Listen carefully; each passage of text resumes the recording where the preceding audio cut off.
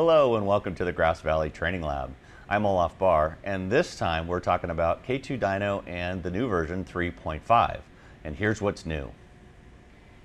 In order to use Dyno 3.5 we want to make sure that we're using Summit 9.5 and also SNFS 4.72. I'll show you how to check for that. Uh, there's a new IP configuration window on the Dyno which is very nice. Multi-Summit workflows as well as Dyno Universe workflows. Adding remote clips to playlists localizing a remote clip in a playlist, utilizing the keyboard arrows for navigation, the different uses of the F keys, new additions in the favorites bar, sorting in a playlist, new send destination changes, and an enhanced way to use searches. In order to take full advantage of the software 9.5 for Summit, we want to make sure that you're using the correct version of SNFS. Uh, that is the file system management system that we have in place. And what we want to be able to do is check and make sure that you're running the right version, and if not, then you need to uninstall and reinstall that. So here's how you do it. So we can minimize this window for App Center. Then under the Windows Start menu, Control Panel, Programs and Features, and then here, if you see closer to the bottom, it's listed as SNFS. And you just want to make sure that you're running the right version, 4.7.2 for this Summit 9.5 build. So again, if you're not running the correct version of SNFS, you'll want to uninstall it. First, make sure that App Center is not running. Then you want to make sure that you also have McAfee, the Windows Embedded Security, in update mode. Uninstall that through Windows, the SNFS that's incorrect. Do a restart install the correct version of SNFS, do a restart, and then once that last restart comes up, make sure that McAfee, the Windows Embedded Security Manager, is back into protect mode, and then you take full advantage of the Summit 9.5 version of software. Configuring the Summit IP addresses can now be managed at the Dyno level as well. What we were up against was host tables really need to be the same for the IP addresses as well as the computer name for each device. So this became typically a problem to make sure that everything was updated correctly and that all the host tables matched. Well, as long as the IP address is available and, and already updated on the Summit side, the dyno can see it and we can go ahead and get right into that configuration. And here's how. So when my dyno boots up and I see the server list, I'll select the server that I want to make some changes or at least maybe just check on it. Click configure and here I can see the different connections that I have. In this case it's a media connection, this is the IP address, if I wanted to change this, just click in here, enter the new numbers, hit OK, as well as for the subnet, gateway if you have that. And then what type of network connection is it? Is it a media or a control connection? And I'll keep it back on media. And you can make these changes for these other connections as well. And if you're happy, hit accept. If not, to cancel, just hit back.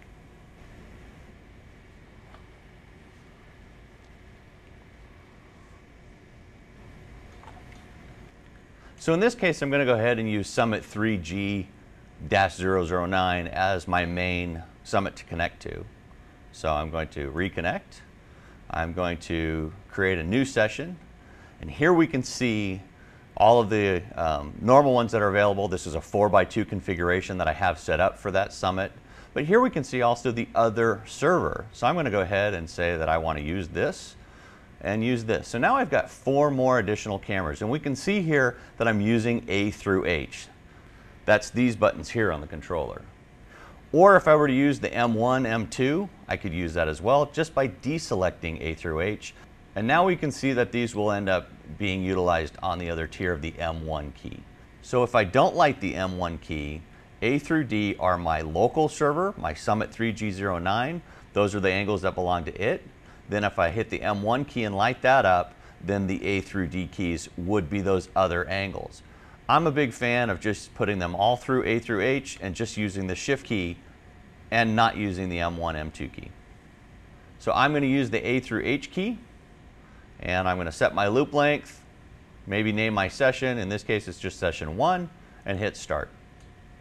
So I just want to take a moment to have a brief conversation about the difference between a K2 Dyno Universe workflow and a multi-summit workflow. Multi-summit workflow can work with pretty much anything that's SD or HD, uh, and, and just that it's also over the one gig network. So you're not using the 10 gig cards that can go into a summit now, um, but again, you can take summits and stack them and have all of those channels fall under one dyno. So imagine, if you will, a, a really nice stack of them and you have plenty of channels of inputs. Um, you could actually create a clip that has 24 different angles if you had three summits, all with eight channels, going into one dyno and you still had two or four outputs on yet another summit. All of that can be shared. And so that's, that's a little bit mind blowing, but at the same time, let's scale that down and say, well, what about just the K2 Dyno Universe workflow? Well, that's really geared towards ultra high def or the uh, high frame rate workflows such as 6x or even um, 3x for, for a 1080p workflow. Um, so, but what I really want you to understand is that one really requires, the, the universe requires SSD uh, in the summits as well as a 10 gig connection. And when you're looking at the just the multi-summit workflows, there you only need the one gig network with the one gig NICs um, on a one gig switch. It's really nice. And then all you have to do is stack those summits. And when those channels become available, like I just showed you, we can do those on an A through H or an M1 or an M2. And those are just different tiers. Where are you going to find all of those channels? But again, remember, if you're going to make one clip, one clip that has ins and outs, you're going to actually have an in and out angle for all of those angles that you're recording. So um, powerful enough just as it is. You don't need all of the SSD and all the one, uh, the 10 gig just to do a multi-summit workflow, but you do for Dyno Universe. And I think there's been a lot of questions about that. All right, let's get back into this. Keyboard arrows for navigation. Not all operators use a keyboard, but they sure are nice when you have them. They come in very handy uh, one is for navigation, two is because there's a lot of features that are within the keyboard itself. Remember, everything that we design about the dyno can all be done locally without a keyboard, but again, this is a nice little attachment if you have the desk space to incorporate it. So first off uh, is going to be the keyboard arrow keys that we can use now for navigation within a bin. So here on this little keyboard, you can see in the corner of my arrow keys, I can just use this to navigate around and on the dyno, you see how it navigates. So pretty simple. So of course, if I have arrow keys, I really would like a nice way to cue that up. The enter key has already been taken with naming a clip or a playlist or a bin. So the enter key being already used, we put it as close as we could without getting in the way, and that's the F12 key. So from now on, the F12 key is always active as a cue up button. So select this, I've already got that clip selected, hit the F12 key, and it cues. Arrow over, F12 key, and it cues. Uh, the other one that was always used is the F1 key, and that was for ratings. And you would just hit that and add three stars, and we'll add more stars here in the future. But for now, the F1 key is still going to be uh, staying for ratings. But what we've done is we've opened up more F keys for keywords and for other uses as well. So now you have the ability to use F2 through F11, Shift F1 through F12 and control F1 through F12. So what can we use these F keys for? It's very cool and I'm going to show you right now. The first thing is in the favorites bar. So to start with, I've already put a couple things up in my favorites bar. If I pull this down, you can see that. I've got a great playlist going. I've got one key play that's a save. Uh, and we want to revisit that a couple of times. So when we go and close this back up, and open up the favorites bar, we can select the clip here. On the dyno, hit the shift button, and here you see set F keys becomes white. So if I select that, now I can hit F keys on the keyboard and assign an F key to that particular clip. So in this case, I'm going to assign it F6. And now in the upper corner, you see that it says F6 for that clip. For the playlist as well, I'm going to select that, and that's going to be Shift F1 that I know every time I want to queue up that playlist, it's Shift F1 and it'll be there. Then deselect set F keys, and now I'm ready to use those at any time. So I might be working and I'm in live, I'm doing some replays, and the producer says, hey, queue up that great save. I hit F6 on the keyboard, and here you can see the clip is queued up. Roll it, do the replay. Wanted to see that great playlist that I was working on? Shift F1, because that's where I hit it and automatically you can see that the dyno goes right to that playlist. Cue it up and roll it for a replay. So now you have a lot of flexibility with 32 F keys. Remember F1 is still the ratings and F12 is cue up, but you have the Shift F1 through F12, you have Control F1 through F12, and still F2 through F11 that you can assign to either way keywords, playlists, or clips. Very powerful. But there's one more application that we can use those F keys for. and I'm going to show you that in just a little bit. But next, what I want to get you onto, triple click in the favorites bar. So there's been the request that if I slide down to expose the favorites bar, a quicker way to cue a playlist from this position. Now if I just triple tap, one, two, three, I actually cue the playlist. It opens it and cues it right away. Remember, a clip that's in the favorites bar is just a double tap, one, two, and it cues the clip. A playlist, just to open it up, is just double tap on the favorites bar. But now we've added the triple tap to a playlist and it cues the playlist. One of the favorite things about my job is getting to spend time with operators and getting their feedback and learning from them. I kid you not, they have such great ideas, and I'm like, why didn't I think of that? One of them, of course, is the favorites bar is fantastic. It speeds up the workflow, but how can we make it even faster? And one of those that came out of um, one of our installations was the request to actually drag and drop clips from your highlight bin right into a playlist that's in the favorites bar. Pretty smart, I know, but I didn't think of it. All right, here's how you do it. So here you can see that I have only one clip in this playlist. I'm going to go to the highlights, slide down to expose the favorites bar, select a clip by holding my finger on it, dragging and dropping. And there you see the little dotted lines around the playlist. That means it just took an action. So if we go back to the playlist, you can see now that we have two clips in that playlist. All right, I'm going to go back to the highlights page again. I'm going to select a group of them. So I'm going to select, and by holding down the function key, I'm going to select more than one. And in the order that I made that selection, I'm going to go ahead and drag and drop right into that playlist. You see again the dotted lines around the playlist. When I go back to that, you can see there that we've dropped in those clips right into the playlist. So you can see what a great idea this is. But of course, the conversation just doesn't stop there. With operators, it's, well, if you can do that, can you do this? And this is, can you combine playlists? And yes, you can with Dyno 3.5, and here's how. Once again, I'm going to slide down to reveal the favorites bar. I'm already looking at my playlists. If I look out here and see that I have the playlist that I'm working with, but I have playlist two that has a handful of clips in that.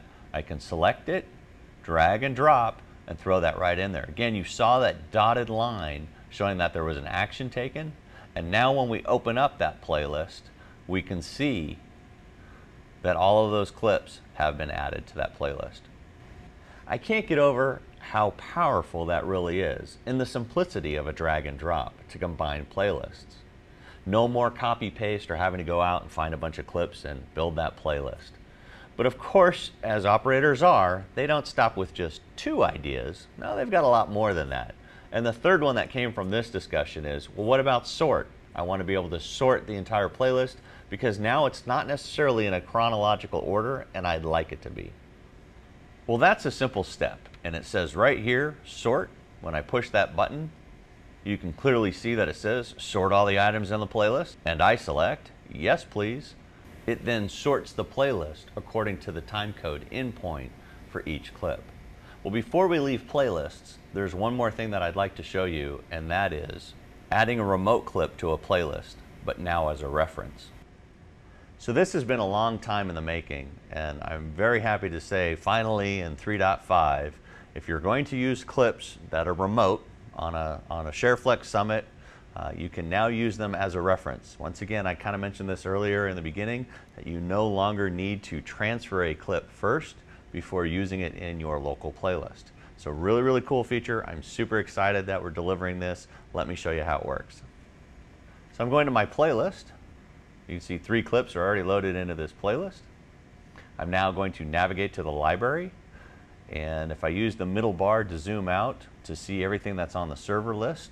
Here's the other one that I'm going to use, so Summit SSD1. Double tap to open that, drill down and look for a folder. Hey, there's an OLAF folder that I'm going to use. And maybe I'm going to utilize this uh, particular clip, uh, sand shoe. And on the controller, I'm just going to hit add PL. You'll see again the little dotted lines going around the clip showing that uh, there was some action taken there. And if I go to the playlist, we can see that it is now at the bottom of the playlist. Again, anytime I want to move that around, just drag and drop. But the idea is, is that it is using reference material. It hasn't transferred it yet. If I now want to make it local, we have a step included for that. Selecting the clip, I see at the bottom left in blue, it says the description of what the clip is. I select that, that's the properties for that particular clip. And here it says make local. And if I select that, it will now start a transfer to make that clip a local clip. And you can see again in the reference here that it's going through a transfer process. Um, and once that happens, the connection icon will disappear. So you might expect that now that I made it local, that as it transfers that it would show up in my highlights bin, but I didn't copy and paste it to that location or use maybe an F key to transfer it right directly to my highlights bin. So we actually temporarily hold it in an imports folder until you want to move it and take it to a particular bin. So I'll show you where to go for that. Once again, go back to the library, see the server list. I'm going to go into my local summit that I'm working on. Go to the V drive, the dyno. Here I see the session that I'm working on. And here you can see exports, highlights, imports. An imports folder is where that's going to live. Using function keys to send content. I told you that there was one more thing that the F keys could be applied to, and that would be transfers. I know that if I have a lot of different locations that I need content to go to, either way different summits that are on my network, maybe a legacy uh, replay product that I need the content to be sent to, or just to archive. Um, I want to have that ability to um, set up that destination on my F keys so it really is at the touch of a finger. So within the dyno, we now have that as part of the configuration. Uh, let's check this out. So I'm going to select config, go to the network tab at the top, and then select send list. First is copy and paste in the library. It's going to automatically use GXF, and that's if I'm going to go ahead and copy paste something into my local library or into another Summit's library. And here you still have the ability to turn off or on what angles that you really want to use uh, and get copy and pasted if there's a lot of angles available um, from one particular clip. Next down is the V drive or the default bin, and that's something that lives locally on my Summit as well. And here again, you get to set up how many different angles you want to send at that time. And that again is just by using the add library. So that's already kind of selected and it's, it's really to help you send more or fewer angles at this point. But the next one down, if we look at what we're going to select, here again, we can have a different capability of getting content out. So I can use the panel, that's to use the shift send key, or in some window applications, you'll see that it'll be a shift and a send function that way. Here I have the choices. Do I want it to be a GXF, an MXF wrapper, or an MOV wrapper? And if I don't want to use the panel, maybe I want to use just Alt-Z. And that would be the Alt-Z combination on a keyboard that is very common with some legacy products. But here again is the F key. And if I select that and say, well, what F key would you like to utilize? Select Shift on the controller, which lights up the set F keys. And I've hit that. And now I can go ahead and assign it some F keys. So in this case, I want it to go to that location in the event that I hit Shift F3. And here you can see it actually gives you in the little description window Shift F3 is how that's going to be enabled. Then I'm just going to go ahead and get out of that mode by Shift and set F key again. Now it's ready to go. If I want to create a new destination, I'm just going to simply select New at the bottom there. And now it says, well, let's go ahead and browse for a location. Hit the Browse key. And I'm going to search out where I'd like to go. I'm going to actually create a new folder. I'm going to name that one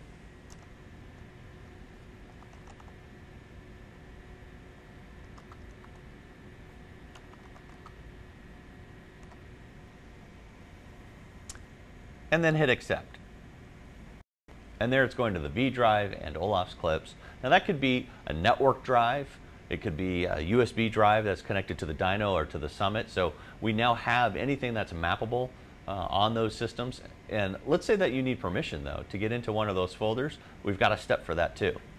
Here at the top, you can see FTP login. I can select that, enter a username, enter a password, and now I have access to that folder that's normally protected by uh, rights permissions. So notice that I have no method entered on how I'm going to trigger this send function. So in this case, I'm going to use the Alt-Z. You can see there it says it Alt-Z. And I want to select just the A and B angle. That's the only two out of the eight angles that I'm going to clip off. I just want to send the A and B angle uh, to that location. So and then I might go ahead and set up another folder for the C and D angles just to kind of separate content because I know that I might be recording a lot of different angles, but they very well could be specific in where they need to end up once I've created them. And I don't want to have to sit there and turn things on and off while the event is happening. I just want to hit F keys and be able to send that content out. So the F keys really have become something very powerful on its own right and now just a faster level of getting content from point A to point B. And that really could be just another summit, another highlight bin on another summit that's, that's got ShareFlex enabled. Or again, like I said, it could be a network drive and an editor is waiting for that content to show up. I don't have to go and hunt that location down anymore once I've set it up. I just use those F keys. Very, very cool. Dyno's use of metadata tags and its ability to search those tags very quickly and efficiently, especially in the search bins, has gone up one more level, which is really nice of a feature. Uh, and that's the ability to add in the criteria of a search folder, even if it's a control F or that you're actually just uh, doing some criteria-based searches to include the entire network. And that's new in 3.5, so let me take you through that for just a moment. So when I select search and go to my search bins here in my three stars, uh, that's just an example. I'm going to select shift on the Dyno controller, select criteria, and here at the top you can see it says session only. If I select that, we can maybe just look at the library for this particular search or the session and the library. And new in 3.5 is all shared.